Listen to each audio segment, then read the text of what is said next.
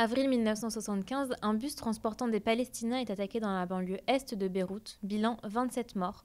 C'est le début de la guerre civile au Liban. Des forces internes et externes s'affrontent, parmi elles l'Organisation de la libération de la Palestine de Yasser Arafat, la Syrie, mais aussi Israël. Beyrouth est divisée en deux, avec à l'est les chrétiens et à l'ouest les partis progressistes pro-arabes. Après 15 ans de conflit et entre 130 000 et 250 000 victimes civiles, les accords de Taïf sont signés en 1989. Ils redistribuent le pouvoir selon des critères confessionnels. Le président doit être maronite, le premier ministre sunnite et le président du parlement chiite. Les Libanais parlent de paix civile qui remplace la guerre civile, mais les tensions ne sont jamais bien loin. Et aujourd'hui, ces conflits impactent encore la cohésion nationale. Le travail de mémoire et la réconciliation n'ont pas été totalement achevés.